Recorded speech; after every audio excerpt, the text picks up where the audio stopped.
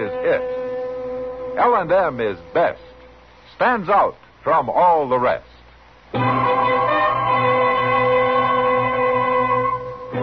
Around Dodge City and in the territory on West, there's just one way to handle the killers and the spoilers, and that's with a U.S. Marshal and the smell of gun smoke.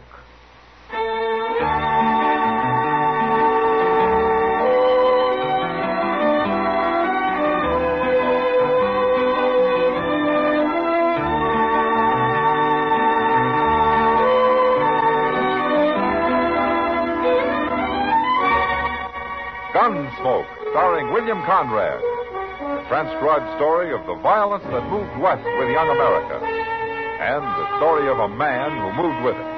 I'm that man. Matt Dillon, United States Marshal. The first man they look for and the last they want to meet. It's a chancy job, and it makes a man watchful and a little lonely.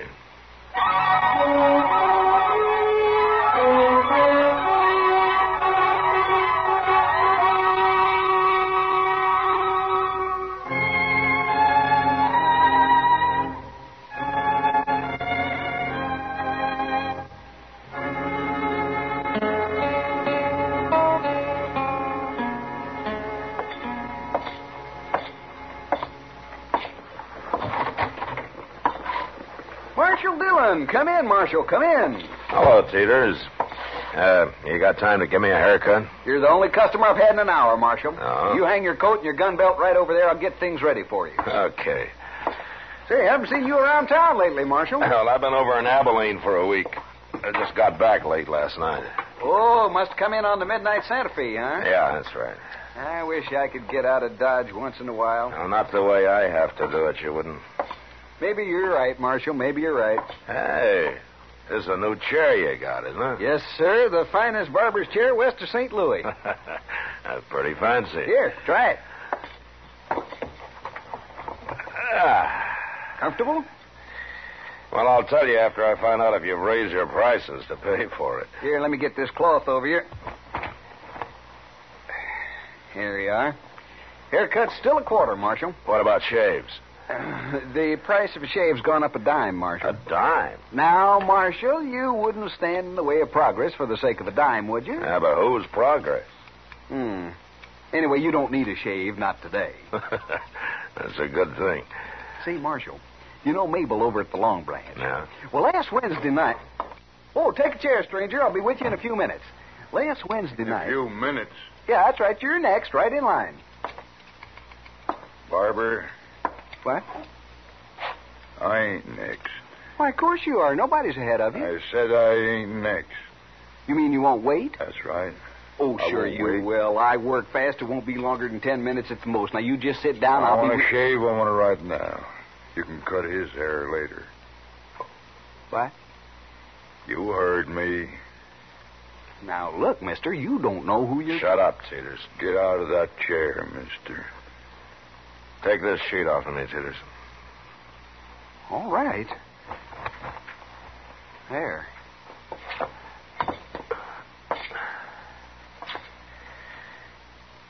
Okay, mister, I'm out. And move. I want to sit down. You don't understand. I don't understand what. I didn't get out of that chair so as you could have it. You're going to be troublesome, ain't you? I am. And there isn't much you can do about it. Isn't there? You don't see very well, mister. What? I'm not wearing a gun. It's hanging on the wall over there. You going to shoot an unarmed man in front of a witness? Go get your gun. Put it on. No. Do it. You licked, mister. How you going to make me do it? Shoot me? Put your gun on. I don't like killings, but if you don't turn around and walk out that door, I'm going to half kill you with my fists. Now get moving. All right. You got me this time, but next time you'll be wearing a gun. It'll be some different then.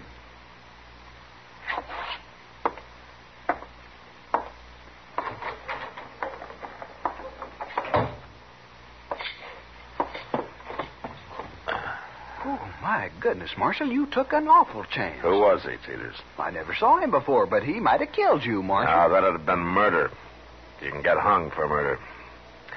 Now, quit shaking. Let's get this haircut over with. He won't be back.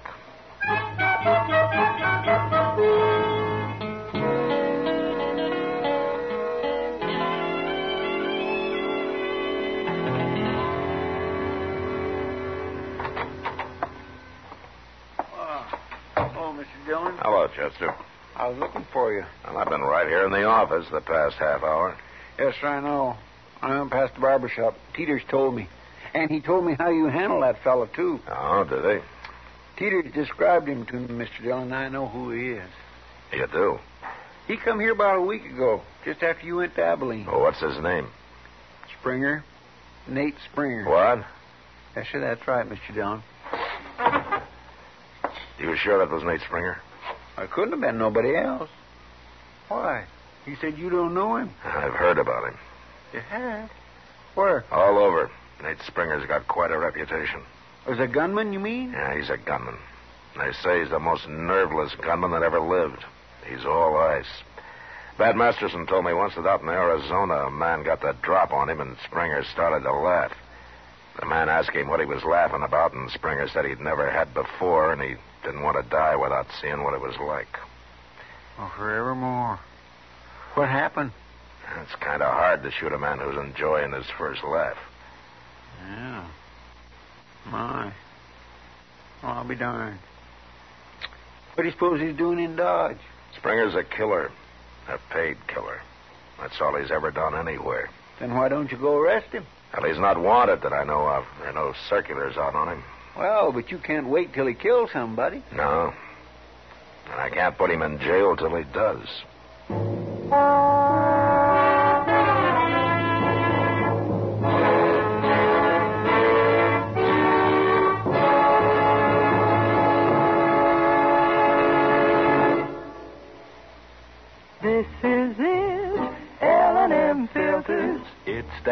Out from all the rest.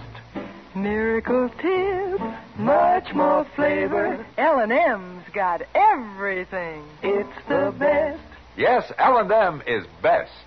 Stands out from all the rest. L&M stands out for flavor. Flavor. Flavor. Flavor. The miracle tip draws easy. You enjoy all the taste. And notice how mild it is. L&M stands out for effective filtration. Filtration. Filtration. Filtration. No filter compares with L&M's pure white miracle tip. L&M's got everything. L&M, light and mild. America's best filter tip cigarette.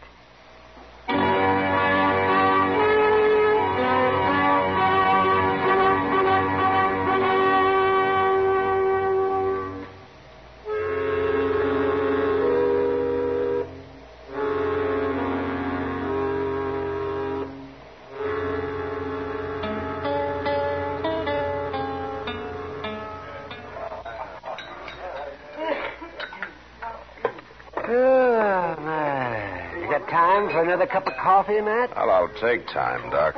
That's good. Here you are, then. Ah, thank you. Well, things pretty wild up in Abilene. Well, it's still a camp with a hair on, Doc. Worse than Dodge. No, I wouldn't say that. Hmm, and I'll stay here. Oh, why? You're usually complaining about Doc. I'm thinking about business, Matt. Business. What's there to do in a peaceful town? Oh, aside from delivering a baby now and then and setting a broken leg. you know, sometimes you sound pretty bloodthirsty, Doc. I don't do the shooting, Matt. It's men like that Nate Springer you were telling me about. He, uh, he is sitting over there in the corner, Doc. He is? well, where? There. Alone with his back to the wall. Oh. Oh, yes. Oh, yes. Oh, my, he looks like a killer. all right. He is. Yeah. You see how he keeps turning around? I mean, oh, it's like he thinks everybody in this room's his enemy. Man like that doesn't have friends. Oh, oh, oh, oh, oh he's getting up, man. He's Oh, well, he's coming this way. Yeah. He hasn't finished his dinner. You better turn around, Doc. Yeah, okay. But you keep your eye on him. I don't like that man. Hey, you. Me? Oh, you staring at me for. I wasn't staring at you. No man stares at me without a reason. I don't like it. I want to know why you was doing it. Oh, now look here, mister. You're getting yourself all upset over nothing. Well, you ruin your dinner working yourself up. Tell me why you was staring at me. I'll put a hole in you. I'll do it. Well, you're awful jumpy for a big gunman. Tell me, I said. Hold it, Springer. You getting into this, mister? I am Who are you, anyway? Matt Dillon. Dillon. That's right. I knew I'd run into you sooner or later. Oh, why? My line of work, there's always some lawman wanting to interfere. Sure. And it'll happen here, Springer. You kill anybody. Fair fights, fair fight, it? Not when you're paid to pick a fight with a man. Like I said, Marshal, I knew I'd run into you. Springer, when I find out who you're after, I can probably find out who's paying you. And I'll jail you and him both. You're going to lose a lot of sleep trying to find out, Marshal. I can stand it. You're the one that needs sleep, Springer. A lot of it. Without any bad dreams.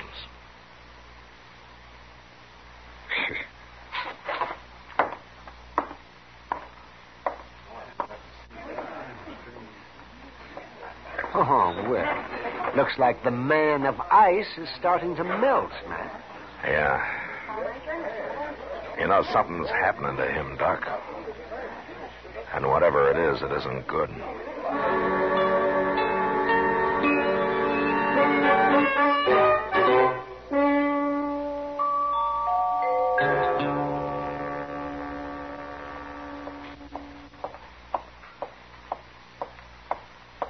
Kitty. Huh? Oh, I didn't see you, Matt. Uh, sit down, if you got time. Well, I don't have to go to work till after sundown. Good. Guess I might as well sit here and watch Front Street with you as do anything else. Little air's good for you.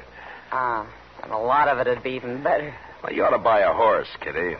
Take a ride up the river every day or so. I'm too broke, Matt. Well, I'll lend you one. I got a little bay that's pretty gentle. Imagine having more than one horse. That's about all the government gives me, Kitty. A couple of cheap horses. I've seen you riding your own. Well, I gotta keep him in shape in case I decide to quit. The day you quit, that horse will be as old as a man. I hope you're right, Kitty. Hey, look, Matt. What? Walking down the middle of the street. Yeah, Springer. Now, who'd expect a man like Springer to have a little yellow dog? I don't know the dog's his, Kitty. Maybe he's just following him. He's right at his heel. I don't think Springer knows it. Oh, he's trying to sniff at him. Matt, he shot him. Poor little dog, he didn't do anything. I'll be back, Kitty.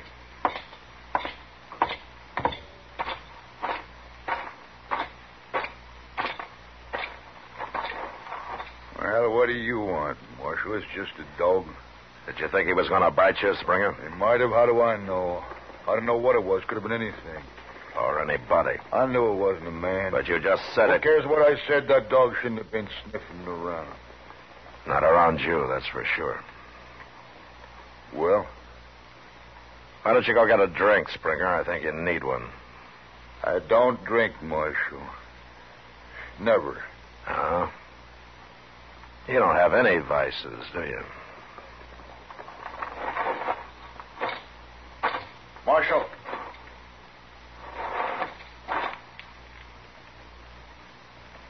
Nothing. Go ahead.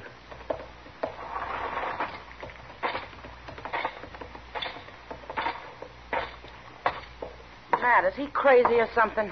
I don't know, Kitty. Well, he's the meanest man I ever saw. He didn't shoot that dog out of meanness. No? Why then? He's jumpy. Well, if he's that jumpy, nobody need worry about him. He's more dangerous now than the way everybody tells me he used to be. What do you mean? Suppose instead of a dog sniffing at his heel, it had been a man who just happened to bump into him. Ah, I'd hate to be the man. He'd probably get killed. That's right. Then Springer shouldn't be carrying a gun, Matt. Yeah, I know. Well, why don't you take it off him or run him out of town? If I did that, whoever's paying him would just hire another gunman, Kitty. The only way to stop this killing's to find out who that is. Well, I hope you do before it's too late.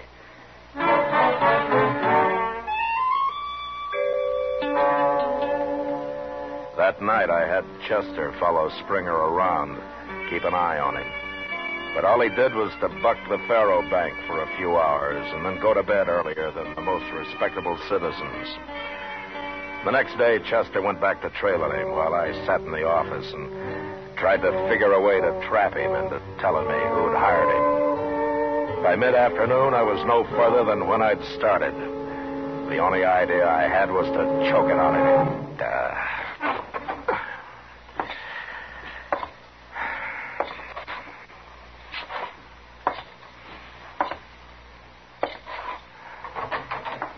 Mr. Dillon, yeah, what is it, Chester? that doggone Nate Springer, he almost shot a girl over there. What? A girl over at the Alafraganza. What do you mean he almost shot her? Well, sir, he stayed in his room all morning till just before noon. Never mind that. What about the girl? That's what I'm getting to.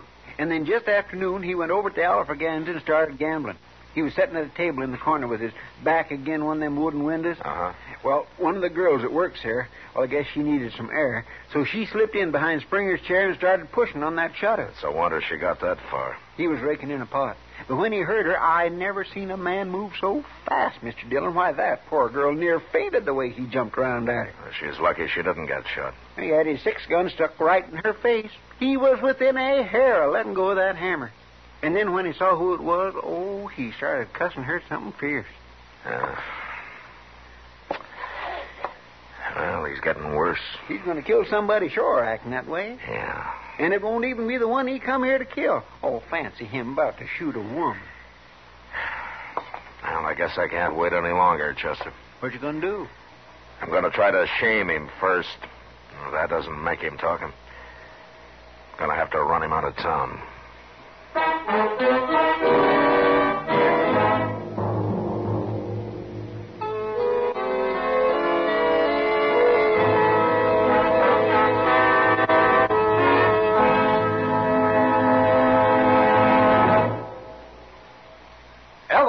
is best. Stands out from all the rest. L&M's got everything. Everything? Everything. Best flavor? L&M stands out for flavor. The miracle tip draws easy. Lets you enjoy all the taste.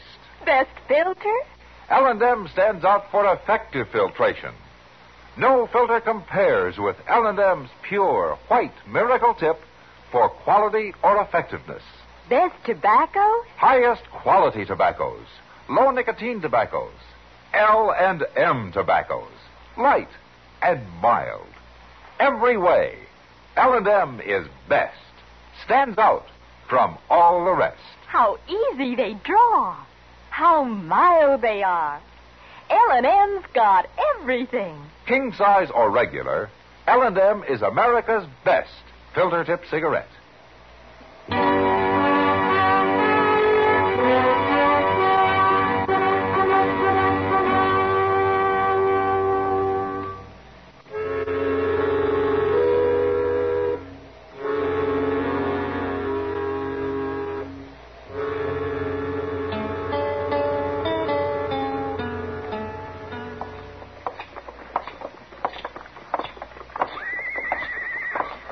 Dillon, I can't help thinking all your friends who told you about Nate Springer was mighty poor judges. He's about the uncoolest gunman I ever saw. I agree about that, Chester. Uh, who told you about him last? I don't remember. Been two or three years. Well, maybe it was just a lot of rumor. You know how talk gets started sometimes. Now, Wyatt Earp was the first man who told me about him. Oh? Look, uh, when we get inside here, you go to the bar and stay there, huh? Yes, sir.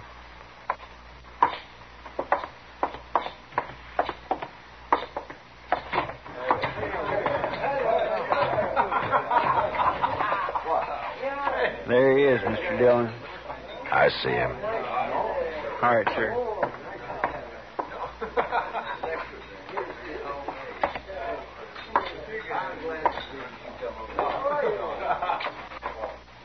Springer? Springer, come over here.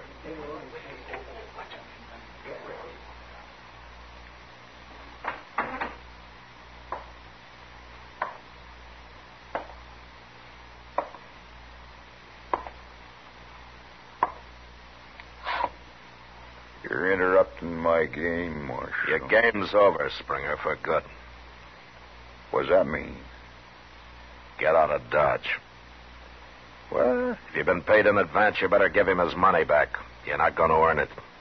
You're saying I ain't? It's an hour to sundown. You'll be out of town before dark. It's a long time since a man's talked to me like that, Marshal. How long's it been since a dog scared you into shooting him? Or since you drew on a woman, huh? You lost your nerve, Springer. You aren't going to kill anybody. Shut up. Yeah, I'll shut up.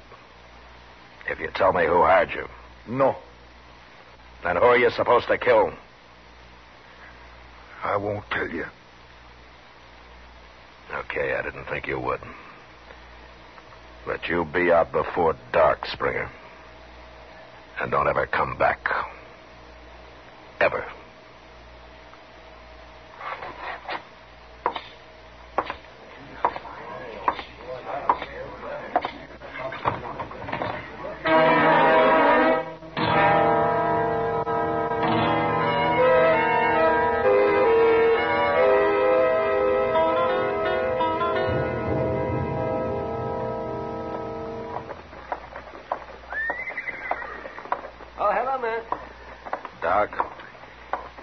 Standing out here for? Why aren't you inside with your feet on your desk the way you usually are? I'm waiting for somebody, Doc. Oh? Oh, you sound serious. It's Nate Springer. He's got about 20 minutes to leave town. Was that so? Well, finally had to come around here, huh? He's still in the Alafraganza over there. If he doesn't come out before dark, I'm going in after him. Mm, oh, uh-uh. Here comes somebody, then. Huh? No, that's Chester. Oh, yes. so it is. Yes, sir. Is there going to be a shooting, Matt? I doubt it, Doc. Springer's already backed down. Well, you never know. I'm going to get my things ready just in case. Sure, Doc.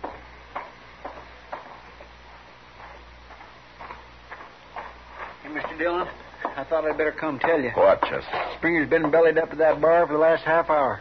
He has. He's been taking on one glass after another. Doc was right. You never know. What?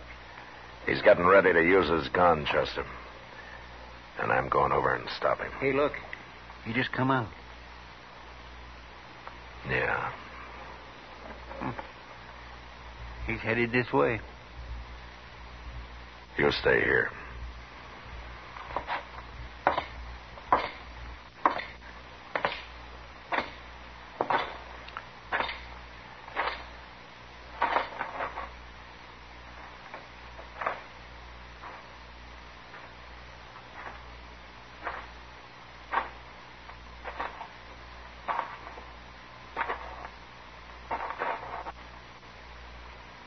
Marshal, I thought you didn't drink, Springer. I never did before. Well, you started too late. You haven't time to find your man. You're leaving town. I've found him. What? You. You I'm going to kill. Who hired you, Springer? Let's draw, Marshal. I feel like it now. Let's draw. Don't be a fool. You're drunk. Not that drunk. I can kill you. And I'll be all right again. Now. No!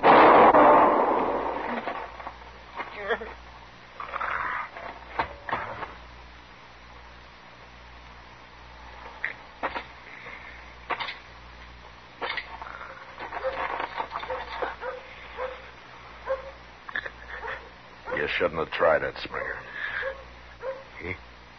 Uh, I had to. Why? Yuma prison. Two years.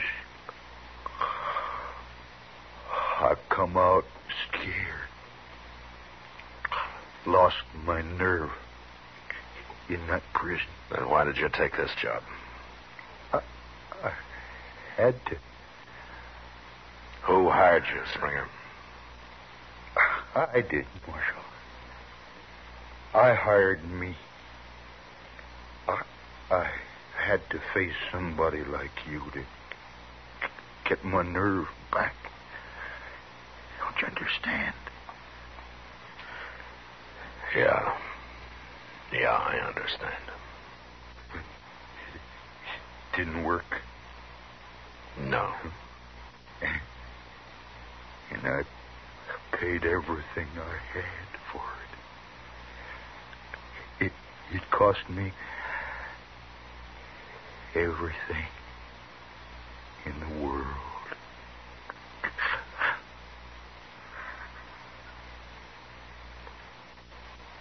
Springer.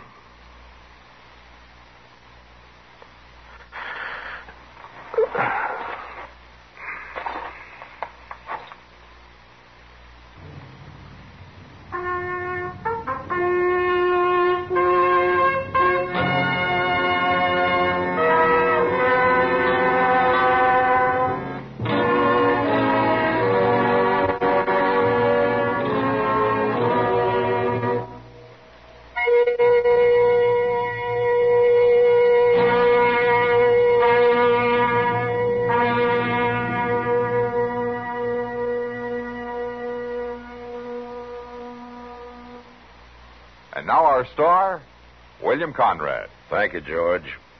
If you're a filter tip smoker, you should be smoking L&M's. When you try L&M's, the first thing you'll notice is how mild they are, how easy they draw. With L&M's pure white miracle tip, you enjoy all the taste. Try L&M's today.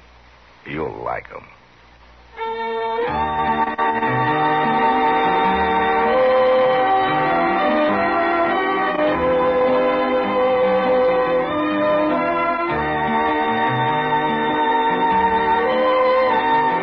Gunsmoke, produced and directed by Norman Macdonnell, stars William Conrad as Matt Dillon, U.S. Marshal. Our story was specially written for Gunsmoke by John Meston, with music composed and conducted by Rex Koury. Sound patterns by Tom Hanley and Ray Kemper. Featured in the cast were John Dehner and Harry Bartell. Parley Baer is Chester, Howard McNear is Doc, and Georgia Ellis is Kitty.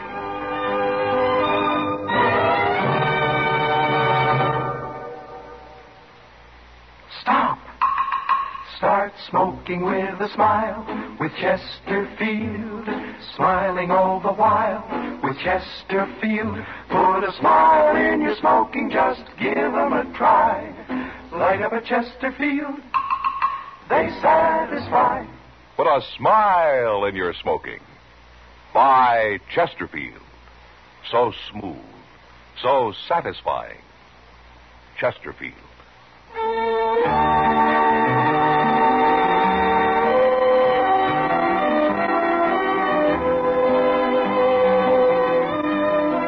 Also enjoy Chesterfield's great radio shows. Perry Como sings all the top tunes on CBS Radio every Monday, Wednesday, and Friday. Jack Webb stars in Dragnet on Tuesday nights. Check your local listings. Remember, listen again next week for another transcribed story of the Western frontier when Marshal Matt Dillon, Chester Proudfoot, Doc, and Kitty, together with all the other hard living citizens of Dodge, will be with you once more. It's America growing west in the 1870s. It's drama. It's Gunsmoke. Brought to you by L&M Filters.